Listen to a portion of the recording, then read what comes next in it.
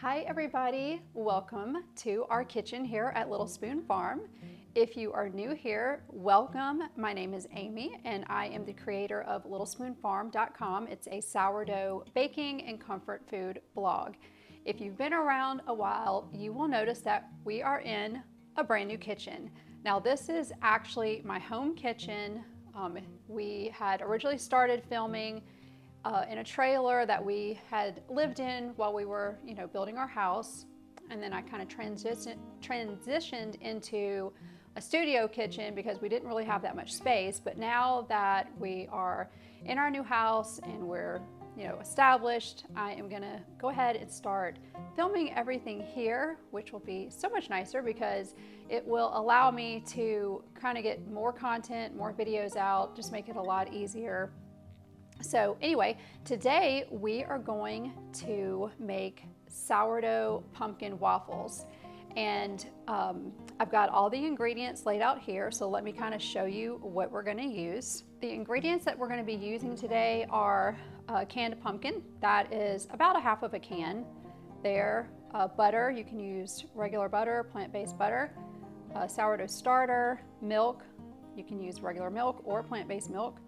We have some baking powder, baking soda, and salt. This is pumpkin pie spice, but you can use cinnamon. Actually, I do like to use just cinnamon a lot of the times. Uh, granulated sugar, vanilla, and flour. I have these all measured out. I had done this so that I could take pictures of everything for the blog post. So I will have, like I said, a recipe post a link to it where you can get all the measurements and everything and uh, you know all the information that you need. So basically we're just gonna take all of these ingredients and we're gonna put it in this bowl.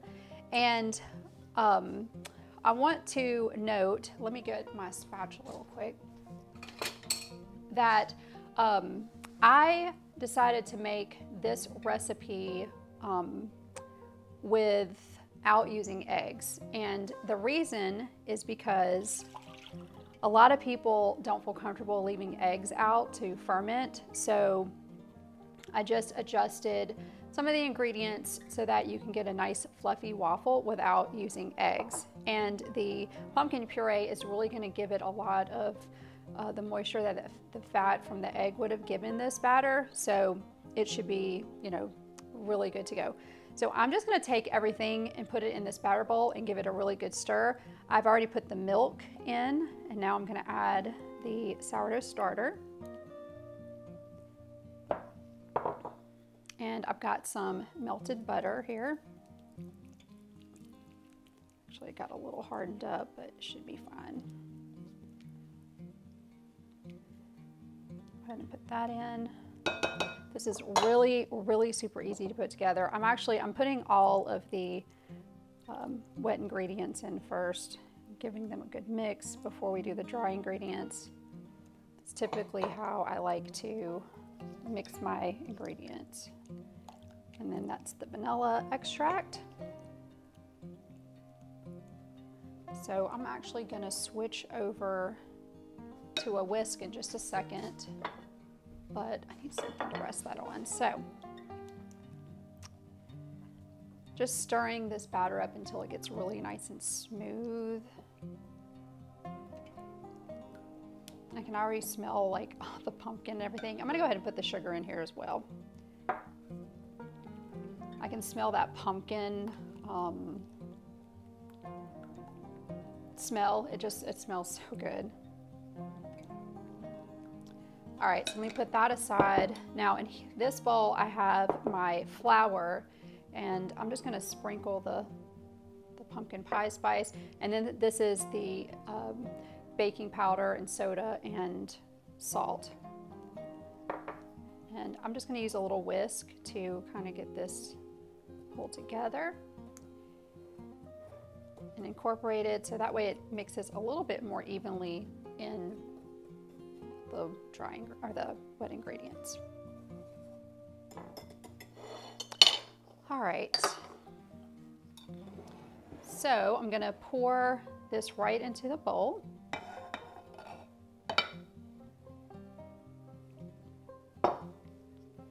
And just give this a really good stir.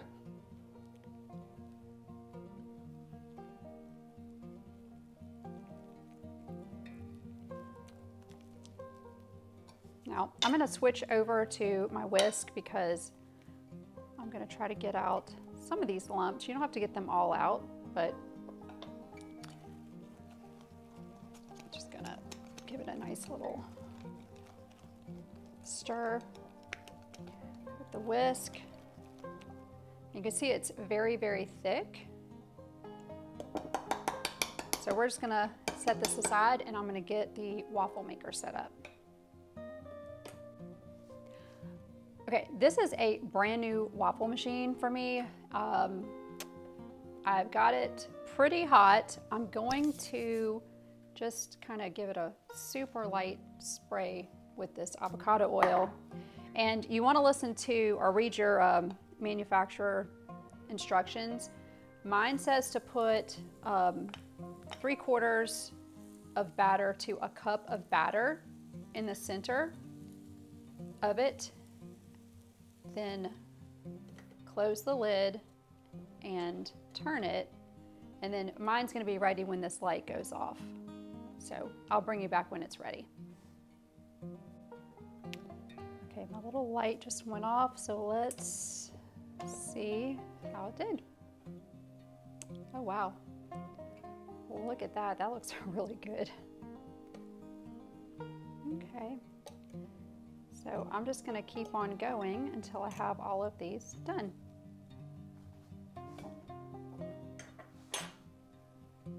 And I'm not going to spray this every single time that I add batter.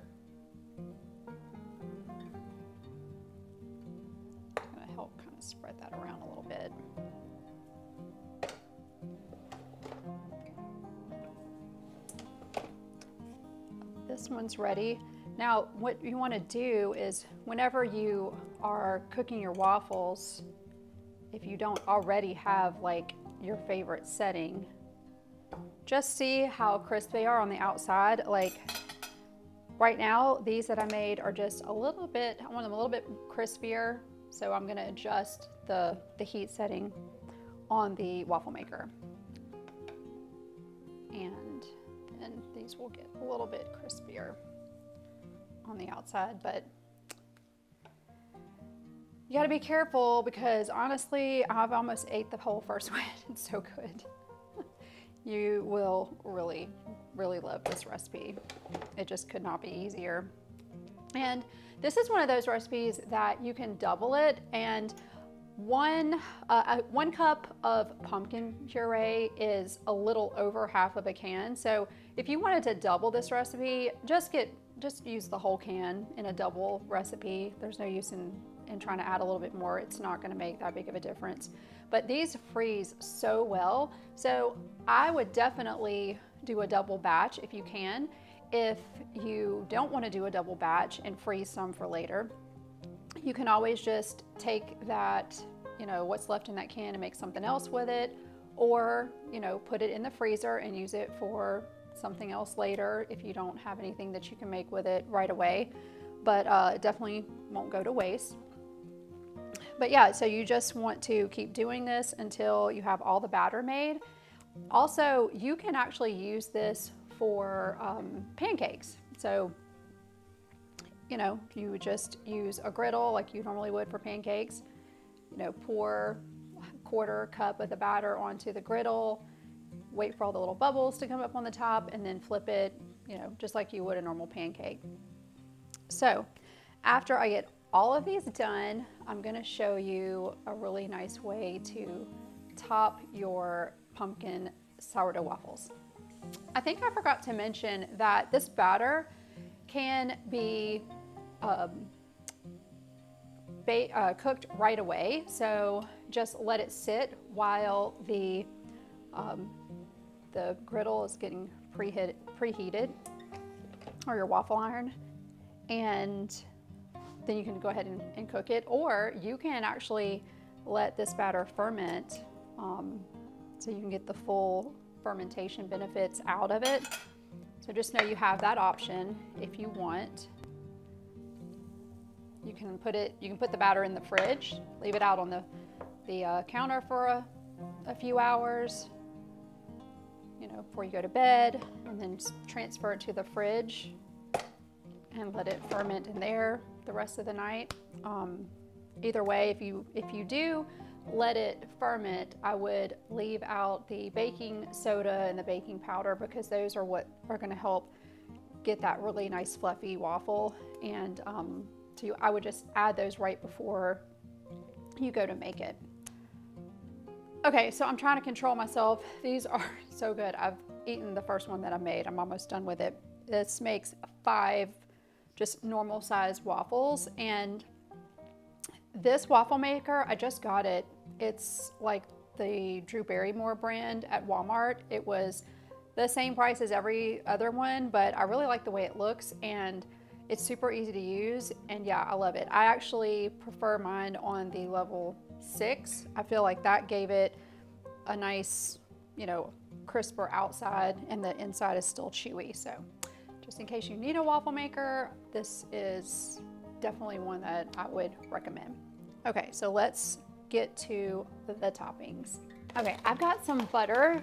Um, it's, I had to put it in the microwave to melt it a little bit and soften it up, but preferably use room temperature. I'm gonna put about two tablespoons of sugar and half a teaspoon of pumpkin pie spice. Again, you could use, actually, not a half teaspoon, about a quarter teaspoon. Um, you could use cinnamon and we're just gonna whip this.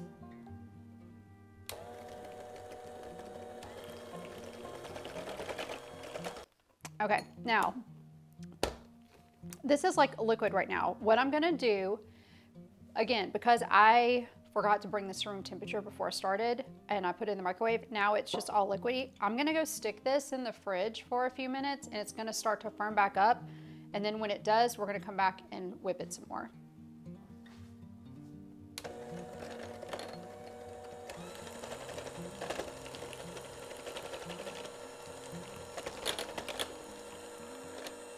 All right, this has been in my freezer for several minutes to kind of firm back up. So now what I'm gonna do is just whip this until it's nice and fluffy and ready to go.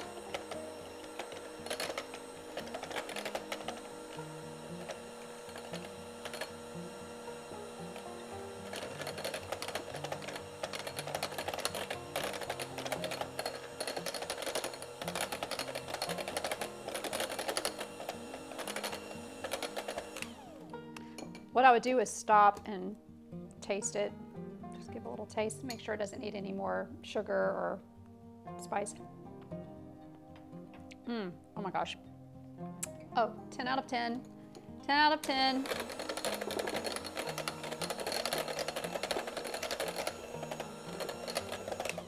All right, that's perfect. Actually, I think I like the technique of letting it melt, getting all that sugar to dissolve, and then chilling it to make it firm back up, that's perfect. So I'm going to transfer it to one of my little weck jars to put it in the fridge because this will keep in the fridge for quite some time. I'd say at least a couple of weeks. Okay. So let's plate one of these bad boys up.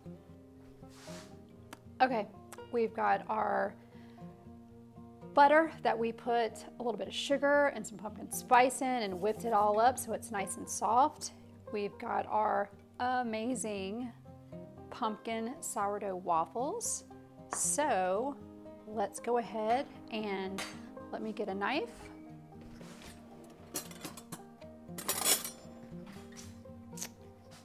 could use a little cookie scoop to kind of make a little dollop right on the top like they do in restaurants. That would be kind of cute to serve it that way.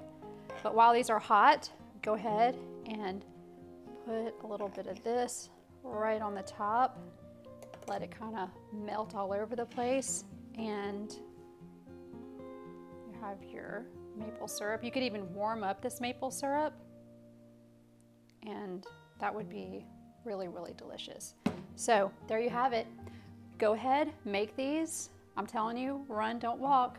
Go click on the link and you'll have all the ingredients. And I promise you, these are so good.